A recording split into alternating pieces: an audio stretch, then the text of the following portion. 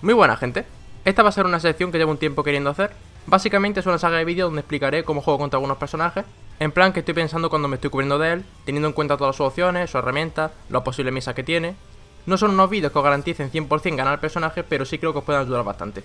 Imagino que os preguntaréis qué diferencia hay entre una guía de las que hago y un vídeo como estos. Pero la idea es que estos vídeos su duración sea de más o menos 2 minutos, que sean algo corto y vayan al punto. No es lo mismo saber jugar un personaje que saber jugar contra él. Y personalmente son unos vídeos que a mí me hubiese gustado encontrar en su momento.